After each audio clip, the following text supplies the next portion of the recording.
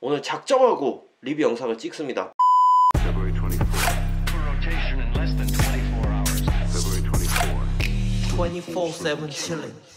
여러분 안녕하십니까 24-7 chilling입니다 반갑습니다 오늘은 리액션 영상을 찍지 않습니다 아 제가 가만 제 영상들을 뒤돌아보니까 너무 street 브랜드 패션이나 이런 쪽의 리뷰들을 잠깐 등한시했었어요 사실은 조회수가 좀 생각보다 많이 안 나와서 리액션 영상으로 조금 많이 기울은 것도 있는데 가만 생각을 해보니까 저희 또 마침 댓글 달아주신 구독자 분께서의 말씀도 계시고 조회수가 안 나와도 제가 이것도 원래 하고 싶었던 컨텐츠였는데 너무 등한시한 것 같았어요. 조회수만 생각하고. 그렇지만 제 중심을 잡고 제 색깔을 찾아야 되겠다는 생각에 오늘 작정하고 리뷰 영상을 찍습니다. 오늘은 제가 크로스백 두 종류에 대한 리뷰를 좀 해보려고 해요. 제 개인 소장님 크로스백을 바로 구찌와 버버리 두 개의 제품을 가지고 리뷰를 한번 해볼까 합니다. 짧고 빠르게 한번 해보도록 하겠습니다. 잠시만요.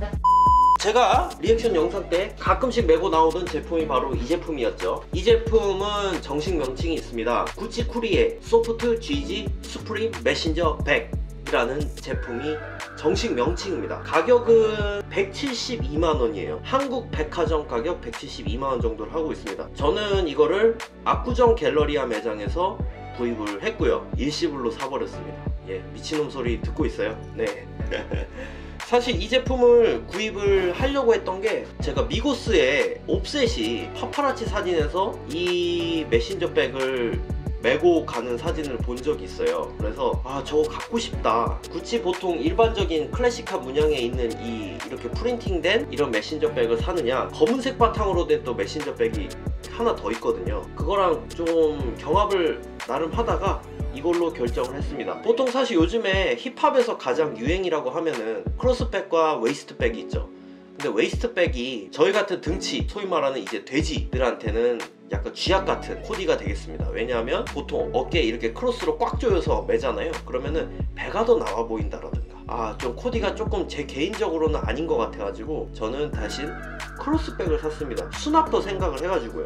그래서 한번 이렇게 보여드리겠습니다. 뭐 특별한 건 없어요. 사실 이 가방의 백미는 이 지금 프린팅된 로고들이거든요. 올드 구찌 로고도 있고 호랑이 문양도 있고 옆에 또 뉴욕 그 뉴욕을 프린팅한 동그란 로고 들어있고 뭐 이런 느낌으로 되어 있고요. 전반적인 소재는 PVC로 되어 있어요. PVC로 되어 있고 이렇게 중간중간마다 가죽들이 덧대어져 있습니다.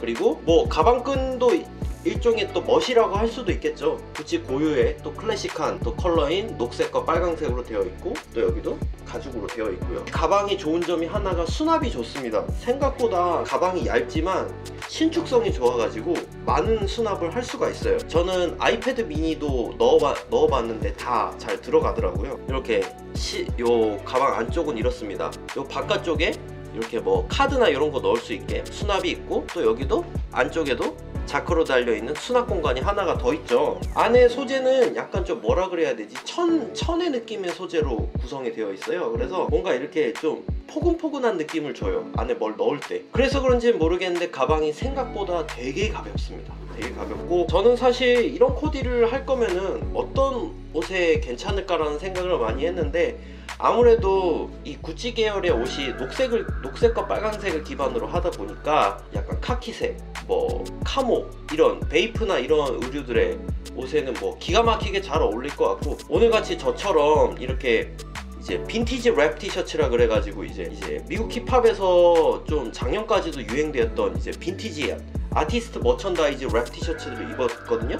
저는 이렇게 이제 핫보이즈라는 예전에 릴웨인이 소속된 랩 그룹의 티셔츠를 입었어요. 그래서 이런 거에 한번 이렇게 매보면 이런 느낌을 주고 있습니다. 크로스백이 이제 소위 말해서 저희 뭐 일반 대중분들이 아는 뭐 약간 직장인 스타일로 이렇게 매는다는 스타일이보다는 조금은 끈을 조여서 너무 또 삐뜨게는 아니지만 그래도 어느 정도는 몸에는 맞게 이렇게 많이 매더라고요. 그래서 저도 그렇게 매고 다니는데 괜찮은 것 같아요.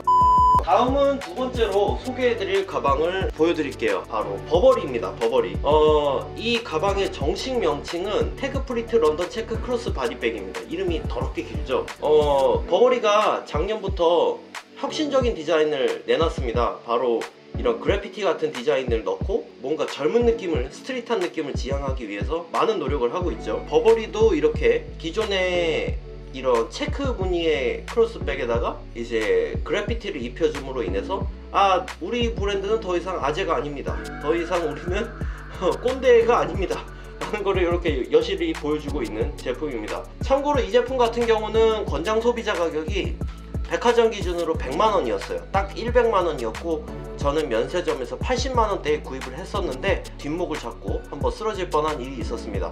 버버리에서 파격적인 세일을 감행을 해가지고 이 가방의 가격이 50만 원대까지 떨어졌어요. 그래서 그, 그 세일의 현장을 보고 그냥 아직 잘 갖고 있습니다. 지금은 버버리 홈페이지에 가시면은 이 제품이 없습니다. 사실 뭐 이건 일반적인 그냥 크로스백이에요. 크로스백인데 그래피티를 입혀놓음으로 인해서 not 꼰대, not 직장인 약간 그런 느낌이 아니다 라는 거를 좀 보여주는 백입니다. 이 가방 같은 경우도 전반적으로 body는 PVC로 되어 있고 PVC와 중간중간에 이렇게 가죽이 덧대어져 있다는 점 뭐 그런 거 말씀을 드리고요. 그리고 가방끈은 천입니다. 예 제가 크로스백을 몇 이렇게 두 개를 번갈아 가면서 매봤는데 크로스백은 가방끈이 가죽인 것보다 천인 게 좋더라고요. 가죽이면 굉장히 신경을 많이 써야 되는 부분들이 한도 끝도 없어서 그리고 한 푼 두 푼 주고 사는 가방이 아니지 않습니까? 한번 열어보겠습니다. 아주 심플한 수납 공간이 끝이에요.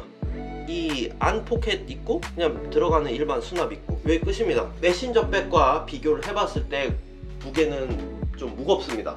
무거워서 뭐 그렇다고 해서 야 이거 뭐 돌덩이를 들고 메고 다니는 거 아니야? 그 정도는 아니고요. 좀 크로스백 치고는 무겁습니다. 그래서 제가 이것도 아이패드를 넣어보면 어깨가 약간 아플라 그래요.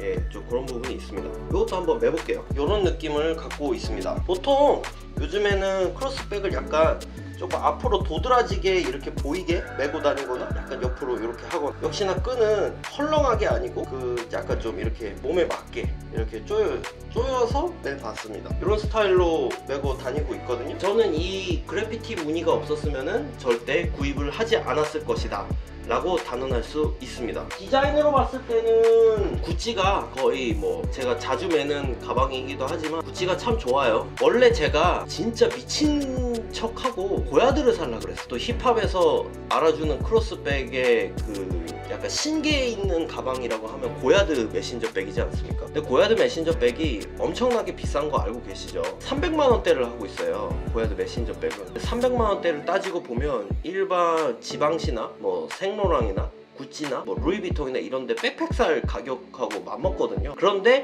그 가격을 고야드 크로스백에 산다? 아 저는 조금 안 되겠더라고요. 그리고 또 하나 문제가 고야드 가죽이 이쁘긴 한데 생각보다 약한 것 같아요. 이렇게 잘 기스도 잘 나고 특히나 고야드 메신저 백의 가방끈이 가죽으로 돼 있어가지고 뭐 더운 날 땀에 쩔, 쩔면은 가죽은 또 취약하잖아요 그런 게 또 안 좋을 것 같고 스크래치에도 굉장히 취약할 것 같고. 아, 돈 몇백만 원 주고 샀는데 스크래치 엄청나게 나면 또 그것도 가슴 아픈 일이잖아요. 그래서 고야드 메신저 백의 구입은 차마 포기했다 라고 말씀을 드릴 수 있을 것 같아요. 310 몇만 원이었던 것 같아요. 제가 알아봤던 가격으로는. 차라리 310 몇만 원 있었으면은 이거 이 가격대에 비슷한 걸로 한 두 개 사는 게 낫다고 저는 생각이 돼요. 네 이렇게 구찌와 버버리 크로스백 두 가지를 가지고 이제 리뷰를 한번 해봤습니다. 여러분들은 또 어떤 크로스백이 더 마음에 드실지는 모르겠습니다. 어, 의견이 있으시면 댓글 많이 남겨주시고 저희 또 슈프림 제품으로 구독자 이벤트 진행하고 있으니까 많은 참여 부탁드리겠습니다. 그리고 저희 채널이 마음에 드시면 구독, 좋아요, 알람 설정 세 가지 부탁드리겠습니다. 다음에도 재미난 영상으로 다시 찾아올 수 있도록 하겠습니다. 여러분